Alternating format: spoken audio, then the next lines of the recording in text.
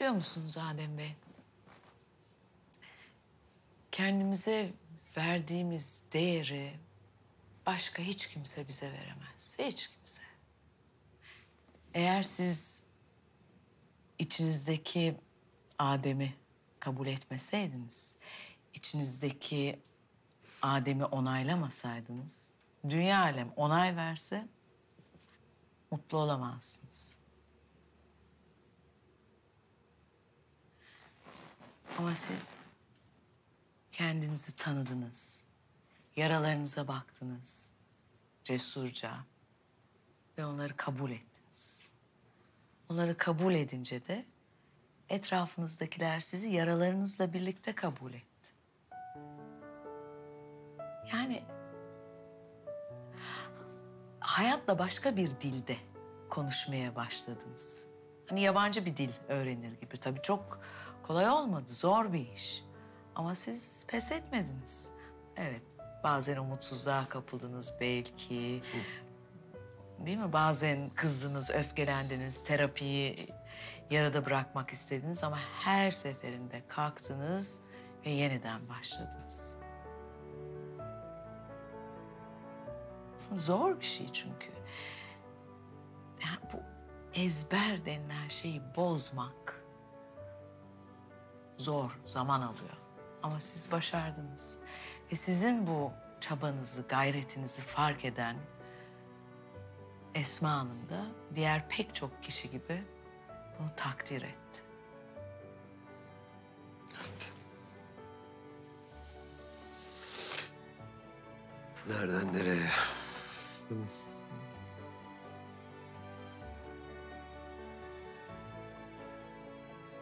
Bu kadar değiştim ben çok. Ben bazen korkuyorum biliyor musunuz? Yani böyle ne bileyim e, ya e, eski Adem'in tepkilerini verirsem ya e, eski Adem gibi olursam diye. Çok korkuyorum. Sabah bir kalkıyorum. Bakıyorum neredeyim diye önce soruyorum ne oluyor. Sonra bir bakıyorum evdeyim. Süper. Her gün önceki günden daha güzel. Ailem var. Çocuklarım var. Karım var. Çok güzel. Huzurum. Param var. Ne istiyorsam var. Sonra mesela ama yani bir bakıyorsunuz ertesi gün hiçbir yok uçmuş. Ne? Alzheimer. Bitmiş ya da mesela işte garip abi gibi rahmetli gidiyorsun. Ben şurada biraz uzanayım diye. gidiyorsun bitiyor mesela ya da kaza oluyor. Ertesi gün yok. Yani bu, bu, mudur yani? Bu mu hayat bu mudur? Ha? Komik bir şey mi söyledim bilmiyorum. Ay ay yok ben... e,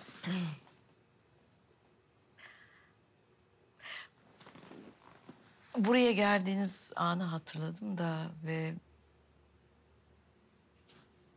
Aradan geçen bu e, terapötik sürece bakıyorum.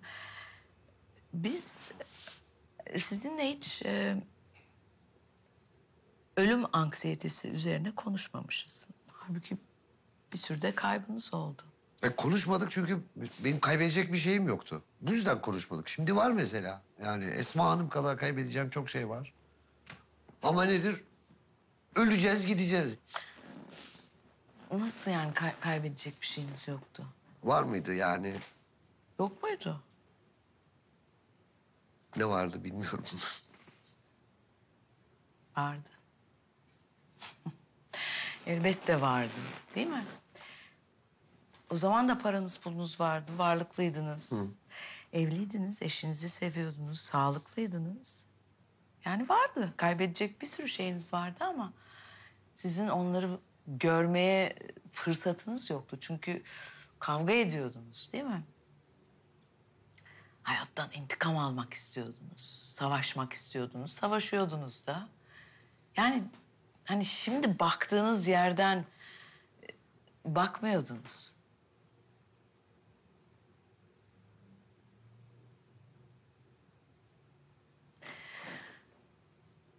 Bu tamamlanmışlık hissi ancak insan kendini kabul edince olur. Ve siz kendinizi kabul ettiniz. Bu duyguyu hiç yaşamadan da ölebilirdiniz. Değil mi? Yani hiç sevmeyi bilmeden, mutluluğu yaşamadan, öfkeli ölebilirdiniz. Ama öleceğiz. Evet. Evet öleceğiz. Hepimiz öleceğiz. Kaçınılmaz. Hepimiz öleceğiz. Hepimiz öleceğiz ama ölünceye kadar geçireceğimiz o o zamanı seçmek bizim elimizde. Bakın bugün ne güzel, güneşli bir gün. Siz de böyle beyaz tiril tiril keten gömleğinizi çekip gelmişsiniz. Şimdi dışarı çıkacaksınız. Oh güneş var ama siz terlemeyeceksiniz. O siyah ceketi, siyah gömleği giymediğiniz için terlemeyeceksiniz. Terlemeyince de hiç kızmayacaksınız, öfkelenmeyeceksiniz, küfür etmeyeceksiniz güneşe. Hatta hatta şöyle bir an belki yüzünüzü bile güneşe çevireceksiniz.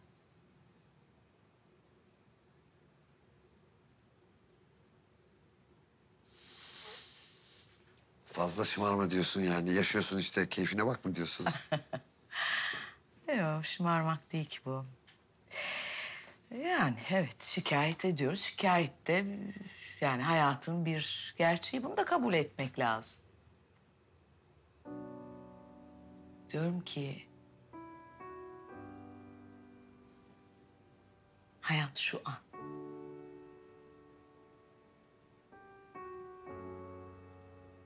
Şimdi. Onunla birlikte olmayı seçmek.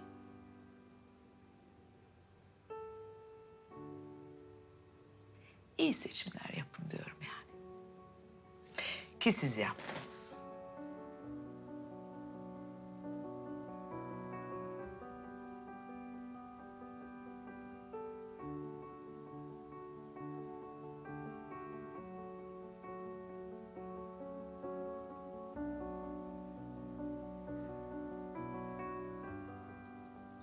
Süremiz bitti.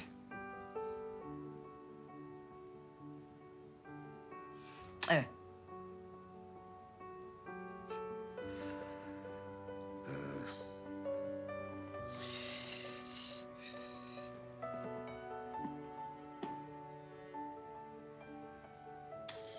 Ben diyorum ki böyle artık size e, her hafta gelmesem. e, yani tabii siz uygun görürseniz. Gayet uygun. Bence çok iyi bir yol aldınız. Teşekkür ederim. Ama tabii eğer bir derdiniz, bir sıkıntınız olursa, bir ihtiyacınız olursa ben buradayım. Tabii ki. Ya bu da böyle bir... e, ya benden böyle bir hediye olsun istedim. Bilmiyorum içimden çok geldi. Teşekkür ederim ama hiç gereği yok. Olur mu lütfen? Çok çok çok gereği var. Siz bana hayatımı geri verdiniz. Çok teşekkür ediyorum. Lütfen kabul edin.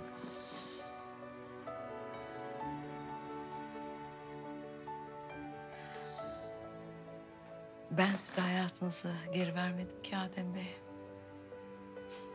Siz onu söke söke aldınız.